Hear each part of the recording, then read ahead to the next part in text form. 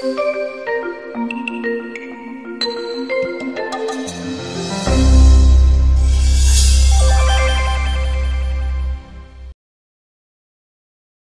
God, thank you that you're God of healing, that you're God of company and companionship. Sinasamahan mo kami, naunawaan nyo kami, at kayo, Panginoon, ang pwede naming hawakan, sundan, at kayong aming gabay, sandalan, kung kami ay nagkakaroon mga panahon ng kagipitan. Turuan nyo kami, Lord, kung ano pong dapat namin gawin sa mga karamdaman namin at karamdaman ng kapwa. At gano'n naman sa aming pagtitipon ngayon, patawarin niyo po kami sa aming mga kasalanan. Linisin niyo po kami, inaamin, tinatanggap at hinihingi namin ng tawad sa iyo ang mga pagkukulang namin. Punan niyo po kami na inyong pag-ibig at gawin niyo kaming karapat-dapat na tumanggap ng pagpapala dahil ginagawa niyo kaming karapat-dapat sapagkat kami minamahal, tinatanggap at pinapatawad niyo. May your mercies abound in our lives. We pray for our loved ones who are not with us right now. Empower them as well. Protect all of us, Lord, from works of evil, evil men and evil spirits, even from our own weaknesses. Walk in our midst. Bring us the blessing, Lord, that we need. Dispense your goodness to us. We lift up your name.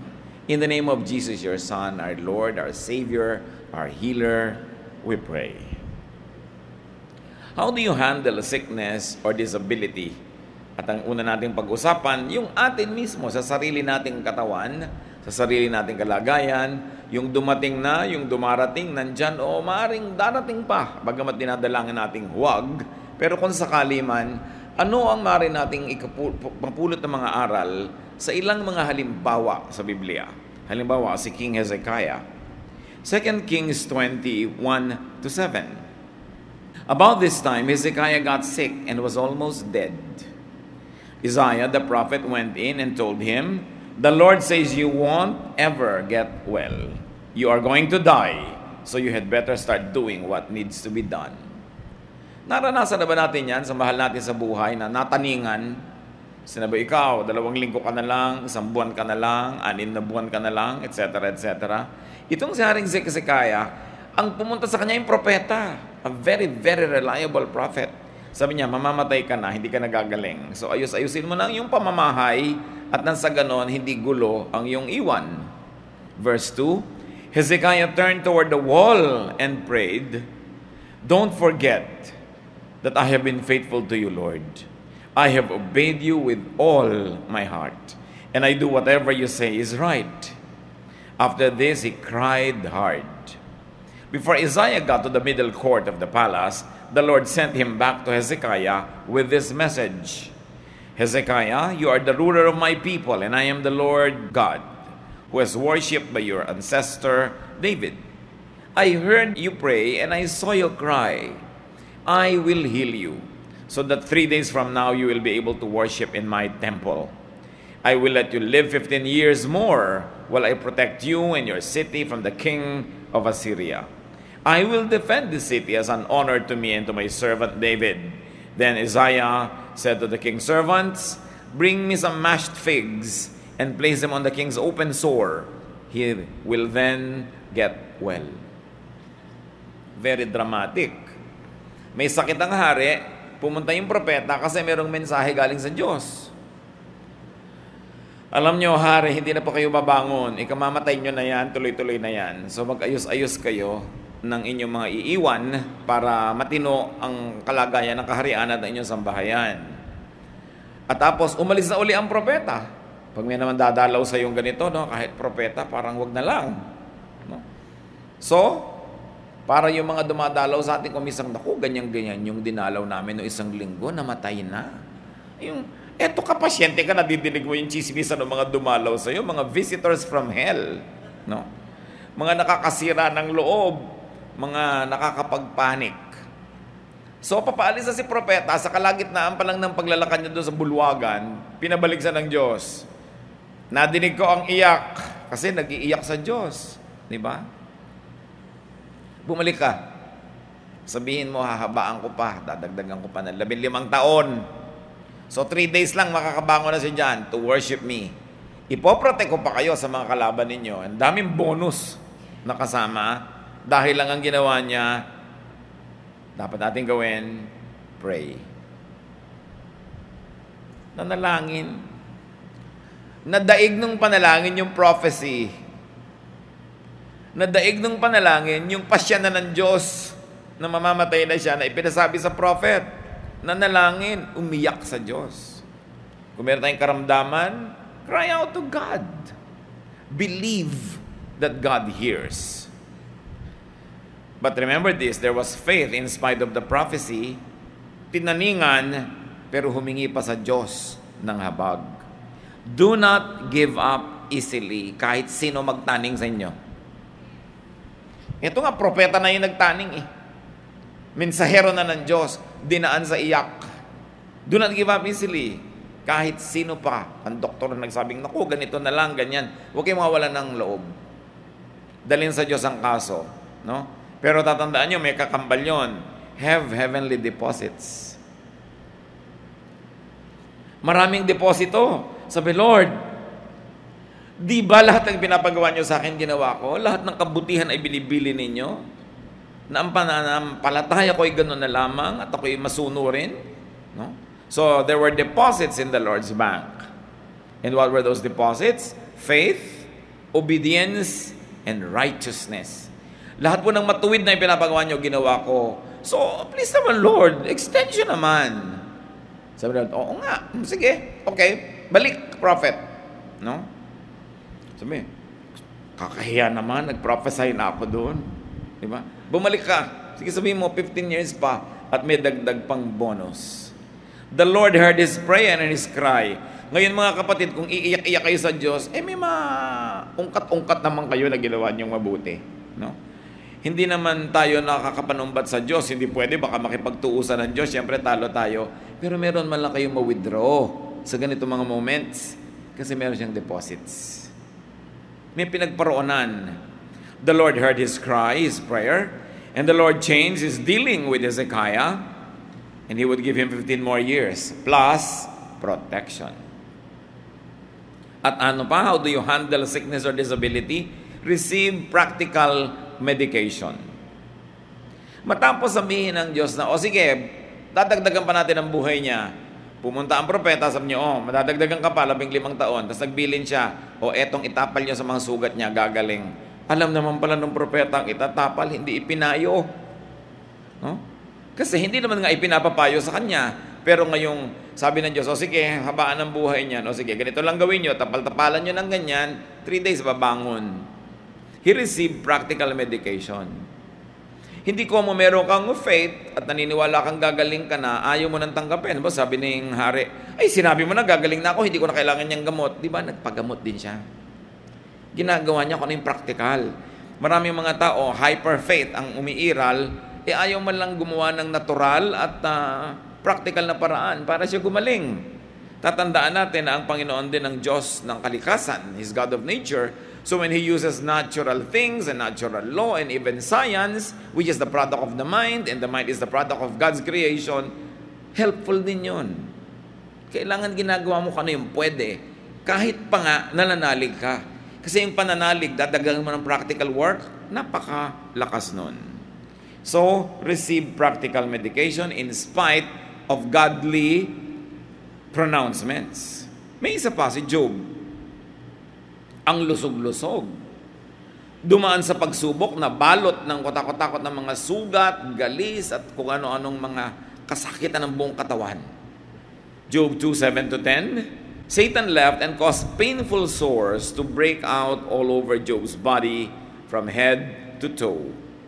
Then Job sat on the ash heap to show his sorrow. And while he was scraping his sores with a broken piece of pottery, his wife asked, Why do you still trust God? Why don't you curse him and die? Job replied, Don't talk like a fool. If we accept blessings from God, we must accept trouble as well. In all that happened, Job never once said anything against God. Ito naman si Job, ang pagkakasakit niya talagang made in heaven. Pagsubok.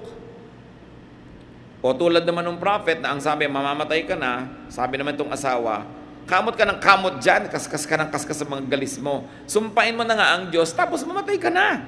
Wala nang pag-asa yan. Sige, pareho na naman nakakasira ng loob. No? At sabi ni Job, huwag kang magsalita ng ganyan na para ka walang utak. Ang dami nating natanggap na blessing sa Diyos. Buong puso nating tinanggap. Ngayon, ito binibigay. Ayaw mong tanggapin. Pag Diyos ang nagbigay, tanggapin. At hindi daw nagkasala si Job, ni nanisi o nanumbat sa Diyos. Now, how do you handle sickness and disability according to Job? Do not let people discourage you. Kahit ano pa sabihin nila, may relasyon ka sa Diyos, may pananalig ka, kahit inuhusgahan ka ng tao, sinisira ang loob mo, huwag kang magpapadala. Especially, tulad nga na sinasabi natin, mga visitors from hell. Tulad na itong asawa na to. Sa halip na makatulong, sinabi pa, sumpain man lang ang Diyos. Ang lansa-lansa mo, nilalangaw-langaw ka dyan, mamatay ka na. Saan ka naman nakakita ng ganong asawa? Meron kaya ditong ganon? Di ba? Yung hirap na hirap na yung asawa, sinusumbatan pa, ninanag pa. No? Do not let people weaken your faith. Nung inubos si Satanas sa mga mahal sa buhay nitong si Job, lamatay lahat ng anak, kaya naman pala itinira tong asawa, kakampi niya. No?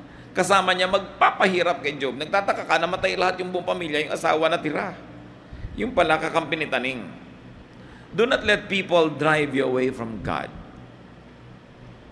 Yung mga nagsasabi sa inyo, oh, godly, godly ka, hallelujah, hallelujah ka dyan, pa Bible, Bible ka pa, tingnan mo, nagka, ganyan-ganyan yung buhay mo. Talikmukuran mo na yan, limutin mo na yan, huwag ka na magganyan. Huwag kayong magpapadala doon. Accept God's dealings with you. God is God. He is supreme. He rules. He is sovereign. Hindi natin siya laging kayang maintindihan, pero lagi siyang tama. At napakahalaga na hindi magbabago, hindi manghihina ang iyong pagkapit sa Diyos, kahit parang ang Diyos mismo ang nagwawagwag sa iyo. Hindi niya gagawin yun, at kung gawin man niya sumandali, may hangganan according to the grace that He allows us to endure. No temptation, no trial comes to people without God's very exact measurement. At hindi siya nagbibigay ng lampas sa kakayanin nating dalhin kung magpapasya tayong magpakatibay at dalhin yon. At ano man mangyari sa ating buhay, do not blame God. And therefore, do not sin against God. Lalo kung nagkakasakit ka na, naghihirap ka na, nagigipit ka na, tapos makikipagkagalit ka pa sa Diyos, eh saan ka nalalapit? Mas hirap, mas gipit, mas dapat kumapit sa Panginoon kasi lalong siya lang ang natitira nating pag-asa at mawala man lahat ng mga mahal sa buhay at yung matira man dyan, pinapahirapan ka habang kakampi ka pa ng Diyos at kakampi mo siya, you are going to be victorious. Huwag tayo nagpapadala sa pagpapahina ng loob. You and God are always a majority. Kaya dapat, so ito naman, ito pa nga nagdala sa akin kay Lord, ito pa nga ang inaasahan ko, ito pa nga inspirasyon ko, tapos ganito lang pala, manghihina ang loob ko. No, no, no, no, no, no. Sa Diyos tayo tumingin, sa Diyos tayo umasa, sa Diyos tayo kumapit. Paminsan-minsan, nabibigyan tayo ng inspirasyon, encouragement ng kapwa, pero huwag yung ilagak ang lahat-lahat sa kanila. Kasi tulad din natin, tao ang kapwa natin. Mga panapanahon na siya ma malakas, may panahon ding mahina. May panahon na pwede kanyang tulungan at may panahon siya patong dadagan sa iyo at hihila pababa. Kaya dapat sa Diyos talagang unang kapit. Kahit may mga, minsan nakaka-inspire sa atin, at uh, nakakapagbigay sa atin ng tulong pero huwag dun laging iaasa. May isa pang guro sa atin kung tayo nagkakaroon ng mga parang imposibleng mga kalagayan, the bleeding woman. Matthew 9:20 to 22. A woman who had been bleeding for 12 years came up behind Jesus and barely touched his clothes. She had said to herself, If I can just touch his clothes, I will get well. Jesus turned, he saw the woman and said, Don't worry, you are now well because of your faith. At that moment, she was healed. Gumawa ng paraan ang babaeng ito. So anong dapat natin gawin mga kapatid? Kung meron tayong makaramdaman na saan mo man dalhin, hindi gumaling-galing, touch Jesus. Connect with God. At huwag kayong papayag na may pipigil sa inyo. Unang-una, she was bleeding. She should have not touched Jesus. Kasi she was considered unclean. Pero si Jesus yun eh. Huwag yung sabihin, ako hindi na ako kayang tulungan ng Diyos o nakakahiya na sa Diyos, ang lalalala ko na. Walang hindi kaya ang Panginoon. Ngayon, yung iba nakakahipo sa Panginoon, nandyan naman, pero bakit wala nangyayari? May kulang, pananalig. Sabi niya, mahipo ko lang. Hindi naman yung tela yung nagpagaling eh. Yung connection niya symbolized by that act. At napakahilig kasi ng mga Oriental people na laging may hipo, merong lapat, merong physicalization.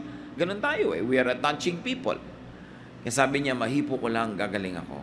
Paano nyo hihipuin ang laylayan ng damit ni Jesus? Wala naman siya hindi naman siya naglalakad sa ating paligid. Siyempre, when we pray, when we read the Bible, when we let the Holy Spirit explain to us the mysteries of God's words, and when we obey, we are touching Jesus. Pag tayo ay gumagawa ng mga gawain ng Panginoon, paglilingkod sa kapwa, pagtulong, we are touching Jesus because we are side by side with Him serving the people. What is the best way to fellowship with the Lord? To serve because the Lord serves. At kung invisible man ang Panginoon, tuwing naglilingkod ka, may ginagawa ka na gusto ng Panginoon na ginagawa ng mga anak niya, nandun ka, rubbing elbows with the Lord. Because pareho kayo ng ginagawa. So this bleeding woman has so something great to teach us. Hindi siya karapat dapat, kababae pa niyang tao, tas naubos na ang mga pera niya sa pagpapagamot, wala namang napapala. Ginawang last resort ang Panginoon. Siguro noon lang niya nabalitaan. Pwedeng gawing last resort ng Panginoon kung talagang hindi mo alam, you did not know any better. Pero dapat tayo nakakakilala sa Panginoon, siya na yung first resort. Siya na agad, hindi yung, uy, wala na tayong magawa, mag-pray na lang tayo. Pray agad, yun ang una. Tulad ng ginawa ng hari. Sinong makakapagsabi na propeta na guaranteed prophet, sinabi nang hindi ka nababangon, nabaligtad pa ng panalangin? Sino ang mga tunay na malalakas na tao? Yung taong nananalangin Sino ang tunay na mga makakapagpabago ng kalagayan niya, ng kapaligiran ng mundo? Yung taong may pananalig at nananalangin. Because prayer is very appealing to God. Hindi pinapaliwanag sa atin pero hindi ma-resist ng Lord na makinig sa prayer. At nakikinig siya. Kung ang Panginoon ay laging nakikinig sa prayer, gano'n naman tayo kadalas manalangin? Yung iba ang tamad pa, lagi nagpapapray sa iba.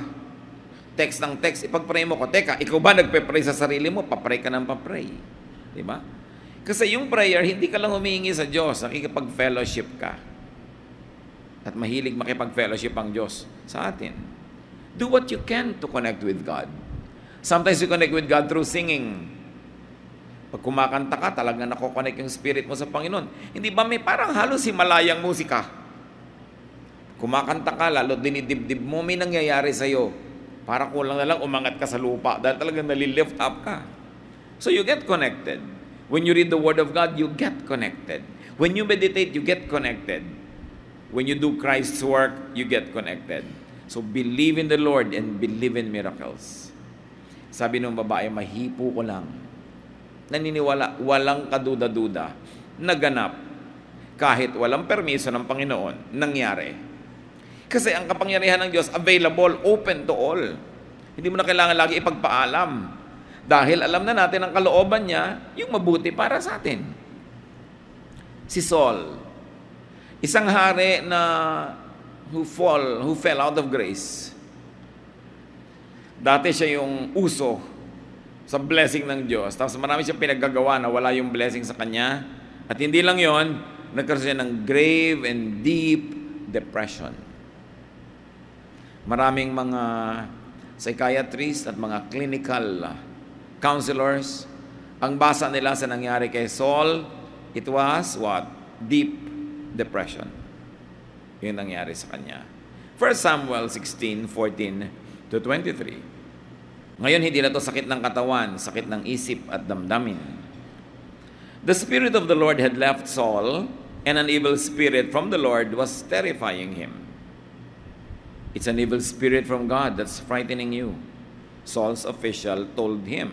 Galing nila na diagnose sila yung pinanggagalingan ng problema niya. Hindi siya makatulog, siya balisang-balisa, laging ninenervyos, natatakot, nagkakaroon siya ng mga phobia, pinagpapawisan ng malamig, hindi makatulog sa gabi, akala mo laging may nagpapahirap sa kanyang kalooban, binabangungot, lahat ng mga hirap na yan.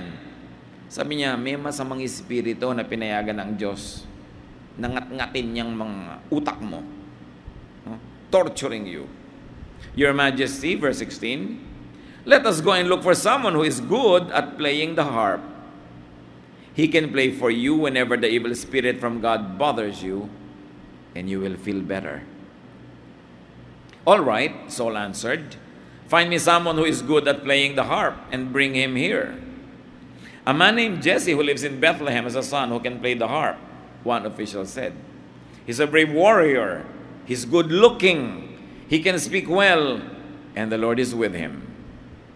Saul sent a message to Jesse Tell your son David to leave your sheep and come here to me. David went to Saul and started working for him. Saul liked him so much that he put David in charge of carrying his weapons. Not long after this, Saul sent another message to Jesse I really like David. Please let him stay with me. Whenever the evil spirit from God bothered Saul, David would play his harp. Saul would relax and feel better and the evil spirit would go away. Pay attention to details.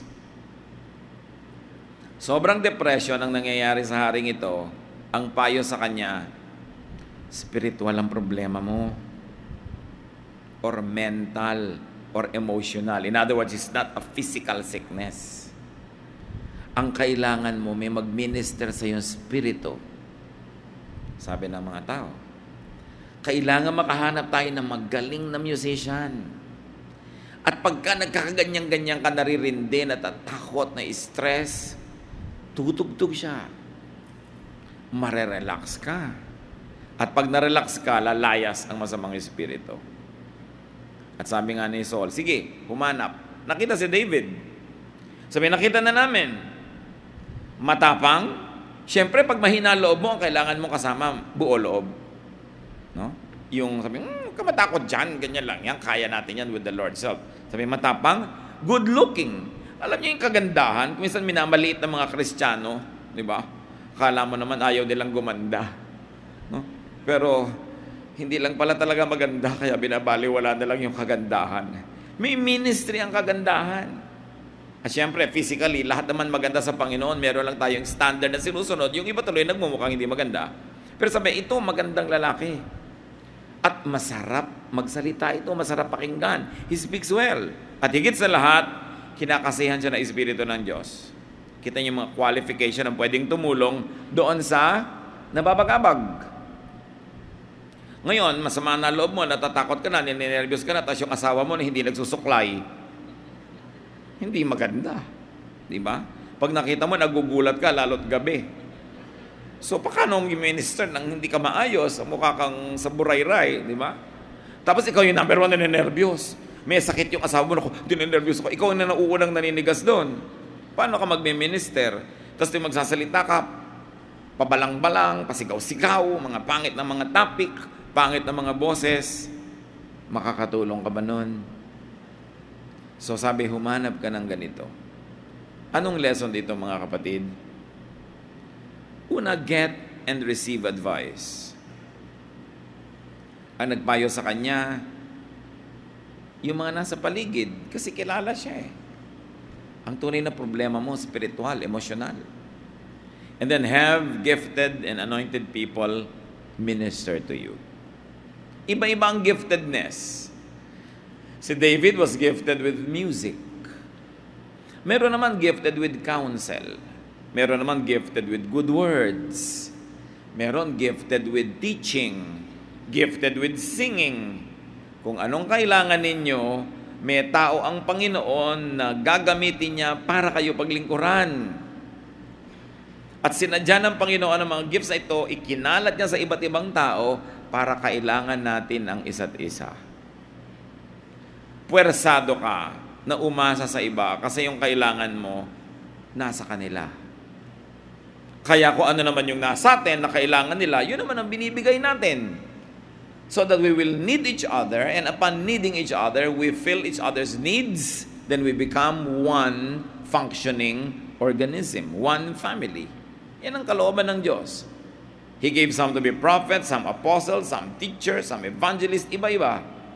Kaya mahalaga yung fellowship, mga kapatid. Kasi it's only in the fellowship where all these gifts are complete and they can be ministered to you. And when you are absent from the fellowship, you cheat all of us. Why? Because you have a gift that God has designed that you give to us. And we have a gift that we give to you. Tulungan. Kung anong pangangailangan ng kapatid, ibinibigay mo. Yung kailangan mo naman, ibinibigay din ng kapatid. Bakit naman musikero ang kailangan nitong si Saul? Eh kasi nga, wala siyang peace of mind. Kailangan niya ng therapy kailangan niyang mapayapa, mapanatag. Sa ganitong uri ng mga sakit, mga kapatid, sakit ng isip, sakit ng damdamin, sakit ng emosyon, what we should do?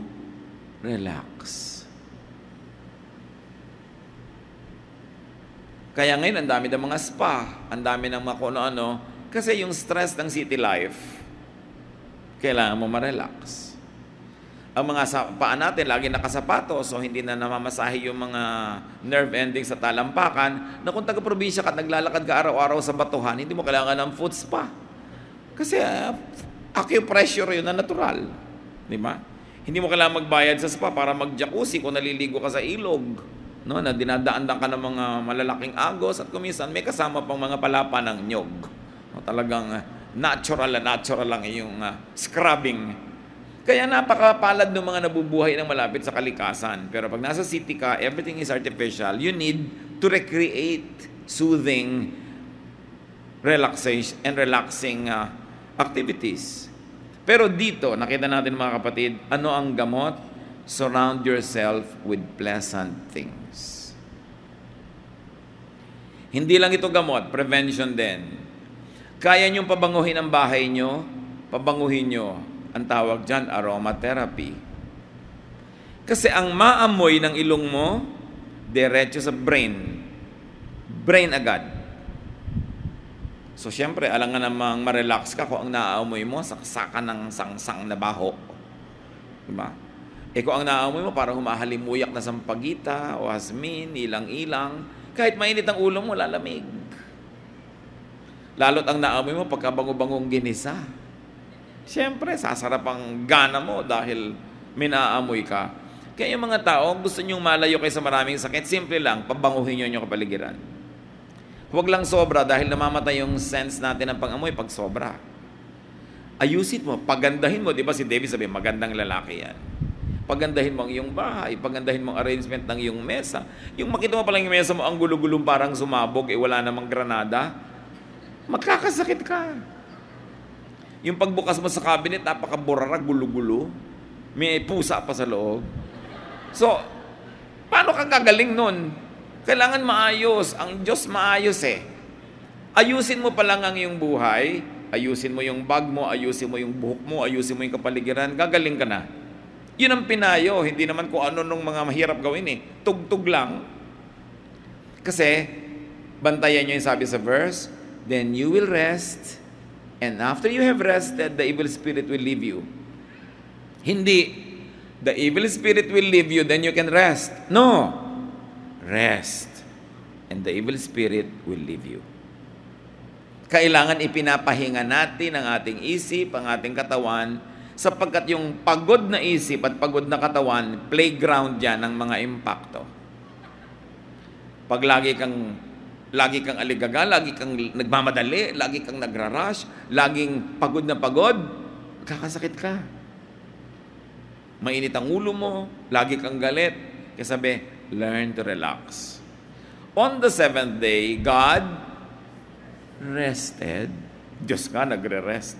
Pero alam niyo yung rest ng Panginoon, hindi naman yung natulog na lang siyang ganon. Kasi ginawa niya yung kanyang creation on the seventh day, in-appreciate niya. So may gagawin ka, appreciatein mo ngayon. May nuluto ka, kakainin mo ngayon. Meron ka nilabhan, pinladya, isusuot mo ngayon. Kailangan pakinabangan mo because beauty ministers. God is God of beauty. And when we say beauty, we don't mean a certain standard of what is physically beautiful in a person's body. Alam niyo yung beauty, basta may harmony, may balance, beautiful yun. Maghahain ka rin lang, tuyo lang yung ulam mo, may kamatis, lagyan mo ng floral formation. Hindi basta mo lang itinambak doon, oh, itong tuyo. Diba? Wala ka art-art. Kailangan masaya, maganda. Find comfort, find therapy, and find beauty. Ngayon, mga kapatid, dapat tayo yon yung parang si David pag tinitingnan ka ng tao na i-inspire. Kasi maganda kang tingnan. No? Hindi nagmamantika ang mukha mo. Yung pinapahid-pahiran mo man lang ng kung ano yan para mukha kang bagong pahinga kahit pagod. Yung hindi pagka naamoy ka, talagang hindi na siya hihinga, di bali nang masuffocate. Huwag ka na lang maamoy. So, we minister to people yung paglilinis mo sa katawan mo, sa environment mo, ministry yan. Hindi lang yung pagkanta sa choir o pagpipreach ang ministry. When you enable people to rest and find beauty and inspiration, that is a very special ministry. Importante, lalo kung kayo asawa. Di ba? Yung magmi-minister ka, syempre. Magagargle ka man lang. Hindi yung alam nyo yung mga diwata sa Ilog Cosito na nakamamatay ang baho ng hininga sa Florante at Laura. So, kailangan hindi ka ganun. Lalo't meron kang kapartner sa buhay. Marami kasi mga kapatid, pagka matagal na mag-asawa, hindi na talaga, wala na, walang ka-hygiene-hygiene. No? Yung nakahiga kain ng kain, makakatulog na lang. My goodness, can you imagine kung anong amoy niya mamayang alas 4 ng umaga? Mm-mm. Tapos good morning ng good morning sa'yo, talikod ka naman ng talikod. Sumasama naman ang loob. So kailangan minister through beauty. When sick or disabled, do this. Get these things. And when ministering to the sick or to the disabled, provide this. At may isang mahalaga dito, whether or not you are the caregiver or you are the one being taken care of, put your house in order. Yan ang 10. Put your house in order. Always. Napakahirap nung may sakit ka, tapos may ipinapakuha kang gamot sa kasama mo sa bahay, hindi niya malaman kung nasaan dahil ang gulo. O kaya nag-aagaw buhay ka, hindi pa malinaw sa mga tagapagmana mo kung sino ang mamana nito at noon. May bank account ka, hindi alam ng mga mahal mo sa buhay kung nasaan, anong number. Nakakadagdag sa stress mo yon kaya ang sabi ng propeta, mamamatay ka na, put your house in order. Huwag kang bigla mamatay, ayusin mo yan, parang iiwan mo maganda. Nakakadagdag ng ating dalahin sa loob kung hindi malinaw ang mga bagay-bagay. So put your house in order. Do your best, pray your best, and leave everything up to God. Aming Diyos. Salamat dahil meron kaming pwedeng lapitan may mga mahal kami sa buhay, may mga espesyalista, may mga doktor. But above all, nandyan po kayo. Dalangin namin, Panginoon, yung kapangyarihan nyo, lumukob sa amin, pagalingin nyo po kami sa aming mga karamdaman. Mga kapatid, magsayuko tayong taimtim sa Panginoon. Sino man ang may karamdamang mabigat, ilapit nyo ngayon. Humingi tayo sa Panginoon ng kagalingan. Yung Diyos ni Hezekiah, Diyos din natin. Yung Diyos ni Job, Diyos natin. Ang Panginoong Yesus, the same yesterday, today, and tomorrow. Sa ilang saglit ng katahimikan, manalangin kayo para sa kagalingan ng inyong sariling mga katawan. Sa susunod, ipapanalangin naman natin ang mga mahal natin sa buhay. Pero ngayon, I like you to pray for yourself. Kung ano ang inyong karamdaman, lalo't mabigat ito, ilapit ngayon, ihingi ng himala sa Panginoon.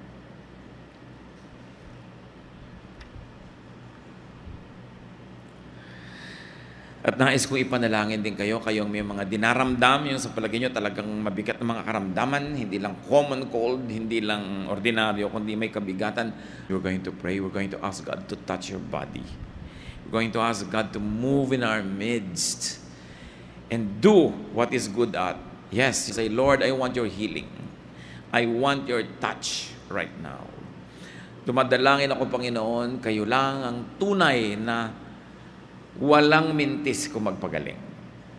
Mga kapatid, kung meron kayong pananagutan at alam nyo yon kung ba't kayo may karamdaman, halimbawa kayo ay nagpabaya sa sarili o napilitan kayo magpabaya, kung ano man yon, kung meron kayong dapat ihingi ng tawad sa Diyos dahil may pananagutan, ihingi nyo muna ng tawad ngayon. Makipaglinaw sa Diyos at sabihin ang inyong mga pagkukulang kung bakit dinaranas ang karamdamang ito. Yun naman ay kung meron kayong alam, lumapit sa Diyos, humingi ng tawad. Maya-maya mananalangin tayo sabay-sabay.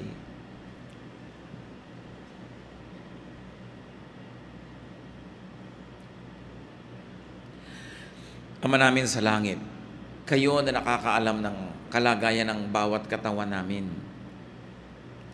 Kayo na hindi namin pwedeng paglihiman kung paano kami nag-alaga o nagpabaya sa mga katawan namin. Kung meron kami mga pagkukulang na alam, Panginoon, patawarin niyo po kami. At maging mga hindi namin alam, nagkulang pala kami sa aming mga sariling katawan, patawarin niyo rin kami. Ang tapos ay tapos na, hindi na namin maibalik. Humihingi kami, Panginoon, ng pagpapagaling niyo. Na yung pagkukulang namin sa mga sarili namin katawan, kayo po ang magpuno. At ngayon wala kaming alinlangan, Panginoon, naririnig niyo kami at wala kaming alinlangan sa iyong kapangyarihan. Loobin mo na gumaling ang bawat isang lumalapit ngayon. Hipuin mo ang kahuli-huli ang himay-may na amin laman, ang kaloob-looban ng aming katawan, maging ang labas. Hipuin mo kami, Panginoon, at kami biyayaan ninyo ng kapangyarihang gumaling. Patawarin nyo kami sa aming mga pagkukulang, punuin nyo kami ng inyong kapangyarihan at palakasin nyo kami.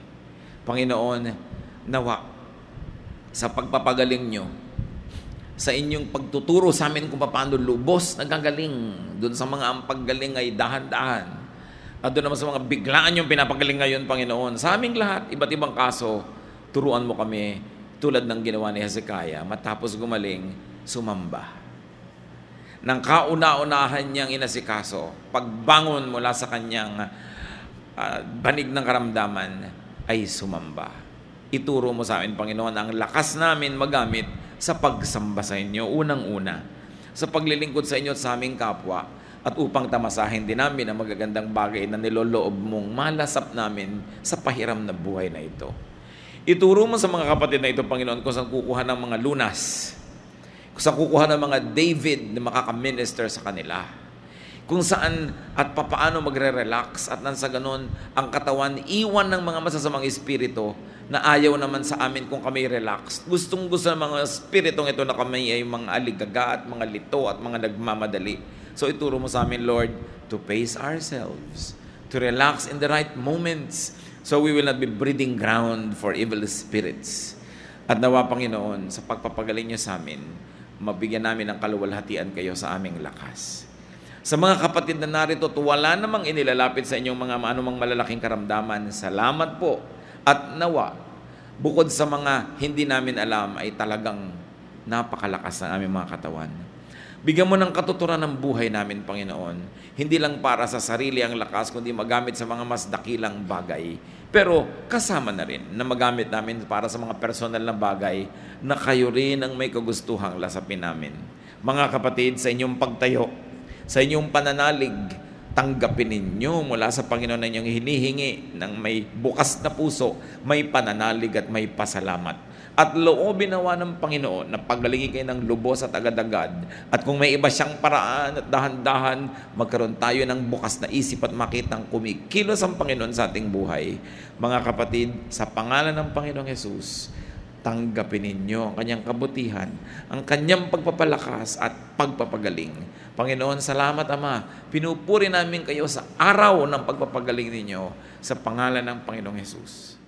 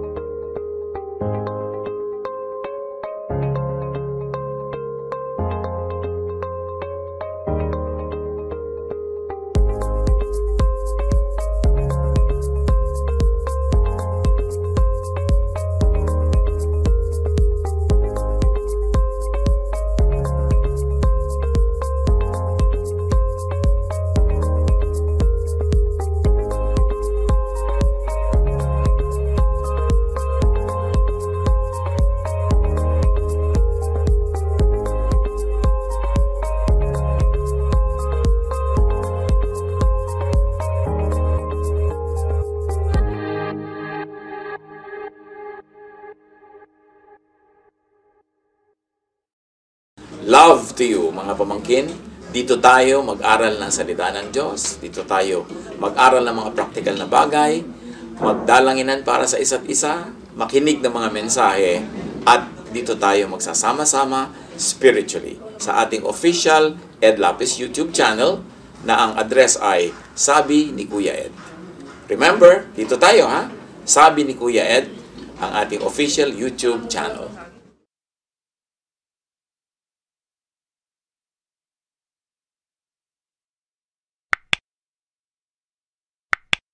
Do not forget to subscribe.